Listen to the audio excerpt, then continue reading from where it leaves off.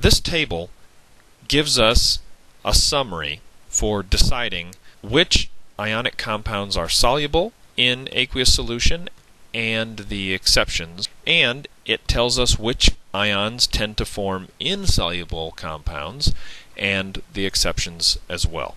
And so, to help me learn this, I came up with five solubility mnemonics. They're printed here at the bottom. Sol Chuck Kualke knows exceptions? Nah. Sol Brickell double hugged Agatha, and Paul Bunyan too. Sol Sulph ate two huge bars, and peanut butter too. The poor crow was cold. He huddled with everyone, but Alkay said, Nah. So, you two are always combined. Not when we're strongly basic. Let's try and explain these. If you take the time to learn them, I guarantee it's going to help you in doing any sort of solution chemistry. Let's take the ions that tend to be soluble in aqueous solution first.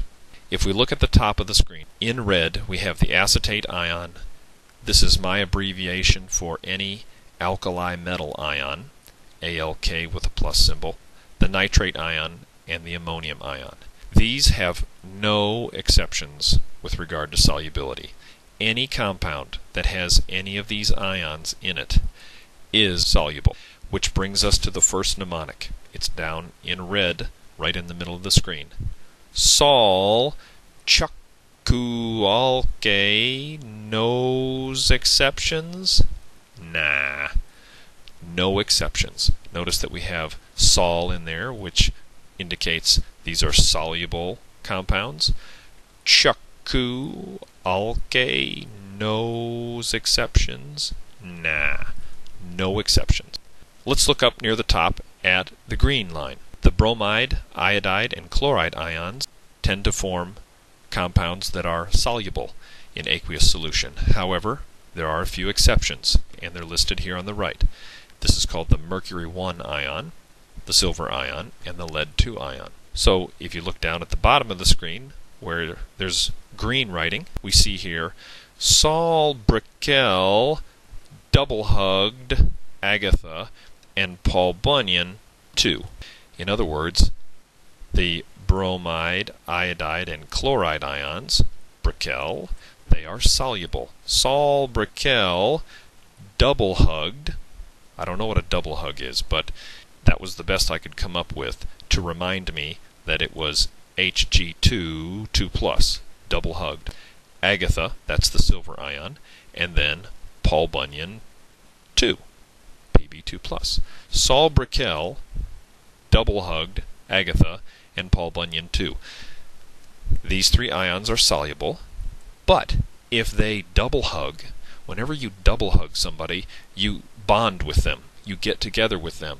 So when any of these three ions, bromide, iodide, chloride, whenever they double hug mercury 1 or silver or lead 2, those are insoluble. Those compounds do not split into ions in solution primarily.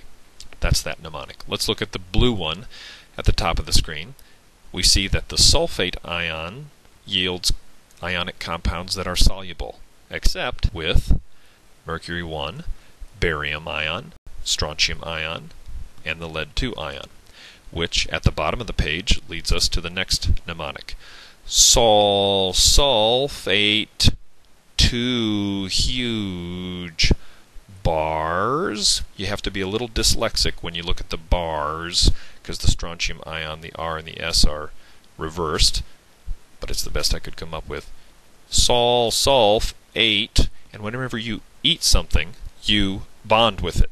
You eat it, and now the two of you are together.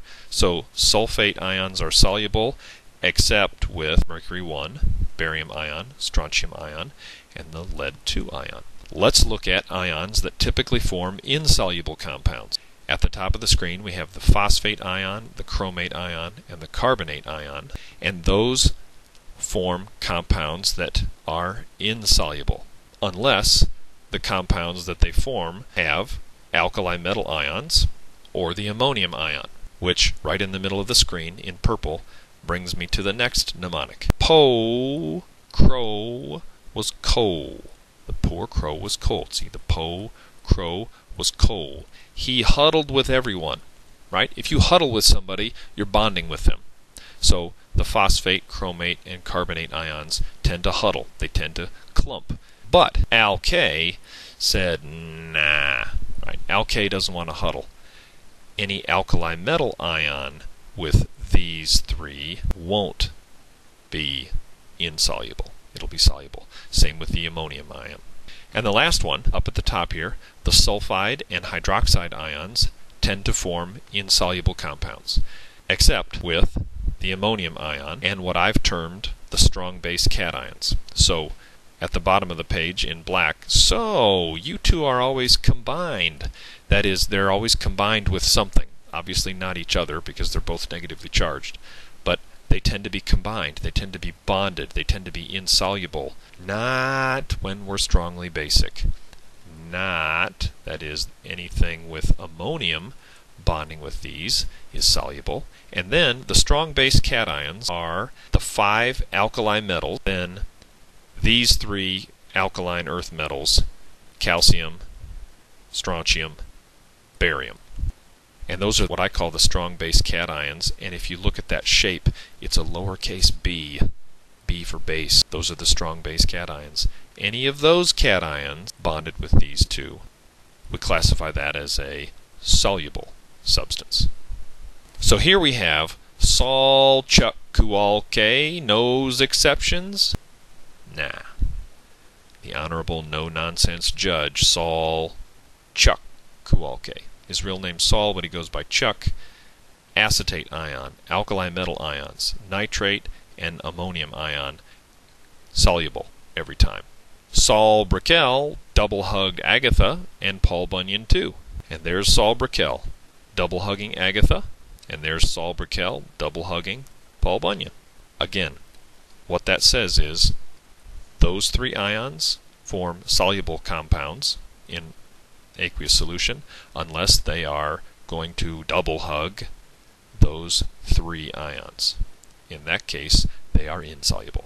Sol sulfate, two huge bars, and peanut butter, two. So on the left we have the slightly sickened Saul Sulf because he ate two huge I'm going into a sugar coma bars and peanut butter. So sulfate ions are all soluble unless the sulfate ion is paired up with mercury 1, barium, strontium, or lead 2 ion. The poor crow was cold. He huddled with everyone, but Al K said, nah. There's the poor crow who was cold. There's the poor crow who was cold, attempting to huddle with everyone. And on the right, the somewhat aloof Alk politely declining the crow's overture to huddle. All of these ions form insoluble compounds unless they're joined up with alkali metal ions or ammonium ions. So, you two are always combined, not when we're strongly basic. Those ions form insoluble compounds except with ammonium and the strong base cations. There the mnemonics are.